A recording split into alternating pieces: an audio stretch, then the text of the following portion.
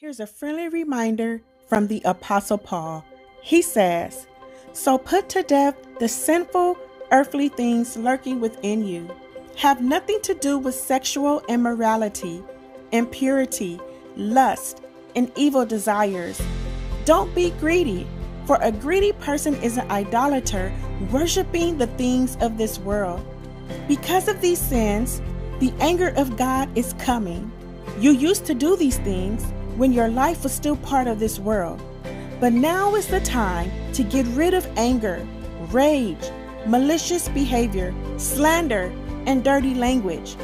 Don't lie to each other, for you have stripped off your old sinful nature and all its wicked deeds.